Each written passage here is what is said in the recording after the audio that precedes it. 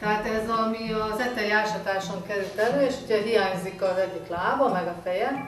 És nagyon érdekes volt, mert a BTM-nek, a Budapesti Történeti Múzeumnak a kiállításán négy vagy öt évvel ezelőtt, vagy lehet, hogy már egy kicsit több is, így a vitrínben visítottam fel meglátva a lovat, mert ott egy ugyanilyen ló van, csak annak megvan a feje.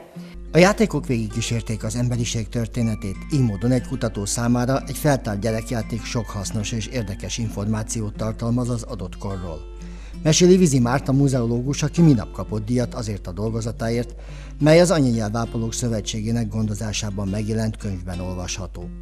A kutató azt is vallja, nagyon sok mindenről csak sejtései vannak a régésznek, hiszen az, hogy például egy adott társasjátékkal hogyan játszottak, arról a lelet nem ad információt. Mint régész arról tudok mesélni, ami tulajdonképpen az ásatásokon fönnmaradt, tehát tulajdonképpen a, a játéknak arról a részéről, ami a tárgyakkal kapcsolatos.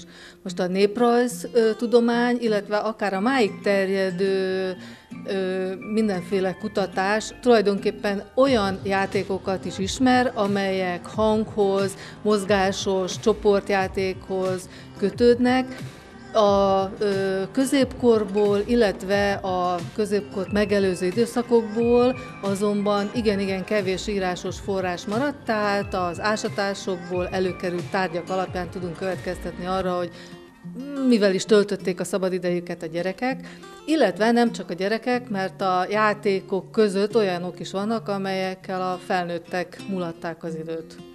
Például ilyenek a különböző kártyajátékok, de ebbe a sorba illik a dominó vagy a malomjáték, amely nem elsősorban a kicsik időtöltésére szolgált. De hogy hogyan, mivel játszottak például malmot az adott korban, nincs, vagy csak alig van leírás, mondja Vizi Márta. Vannak anyagok, melyek megőrződnek a föld mélyén, mint például a csont, és vannak, amelyet az idő elparlaszt. A szerves anyagból készült dolgok azok nem maradnak meg. Most a néprajzi kutatásokból ismerjük például, hogy a 19. század második felében, 20. században készülnek fából játékok, készülnek akár szalmából, készítenek babákat rongyból, ruhából. Most ezek nyilván régészeti anyagban nem maradnak men, meg ö, ezeket a szerves játékokat inkább csak a közelmúltból, az utóbbi 100-150 évből ismerjük. Vannak persze kivételes esetek, amikor nagyon-nagyon jól, jó környezetben képesek fennmaradni ilyen tárgyak, de ez azért nagyon-nagyon ritka. Hogy mit tükröznek? Azt tükrözik, hogy az emberi tevékenységnek a játék, mint olyan szerves része volt. Egyrészt mondhatjuk azt, ugye a, a játékkutatás is igazából külön tudományágnak tekinthető, és a néprajzban azért már nagyon korán külön részt vagy külön ágat képviselt. Ennek kapcsán tudjuk azt, hogy a, a játék az egyrészt ugye az ember szabadidejének az eltöltését szolgálta, másrészt nagyon-nagyon fontos volt, hogy a gyerekek egy-egy adott tevékenységet megtanuljanak kapcsán, tehát kvázi ilyen szerepjátékokhoz kapcsolódik. Például vannak, ugye arról beszéltünk, hogy kerámiából vagy csontból készült eszközök is, hogy gyerekeknél találunk kisméretű főzőedényeket például, találunk olyan kis játékokat, amivel szekeret utánoztak, és úgymond így akkor a szüleik által végzett munkát utánozták. Ugyanezt a célt szolgálták egyébként a különböző babák is, hiszen ezzel a kislányok például felkészültek a felnőtt életre, utánozták ugye azt, hogy a szüleik hogyan gondoznak egy gyereket például.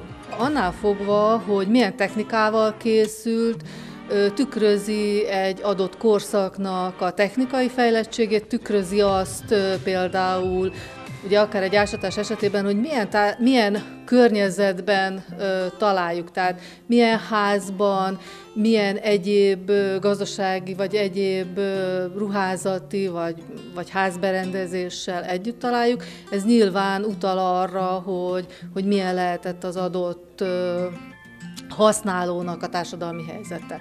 Azt a fejlődé, ha nagyon szorosan fogalmazunk, vagy nagyon sarkítva, azt az adott gazdasági társadalmi helyzetet tükrözik, amely a, akkor létezik. Tehát nyilvánvalóan, hogy hogy egy paraszti gazdálkodással foglalkozó helyen olyan tárgyakat készítenek a gyerekek maguknak, vagy a szülők a gyerekeknek, amik az ő életüket ö, reprezentálják. Tehát itt említettem már a csoncsikót, és hozzá a, a fából készült kisszekeret, vagy a főzőedényeket. Tehát ezek olyan játékok, amelyel a, a napi életet játszák igazából kiskorukban. Saját környezetükben, a gazdaságban előforduló tárgyakat felhasználva készítették. Minden bizonyal, hogy egy-egy jól menő családban készülhettek akár nemes fémből is tárgyak, hát ezekkel nem nagyon találkozunk. Néhány magyarországi vád konstrukciója kapcsán kerültek elő például sakkészletek, meséli Vizi Márta.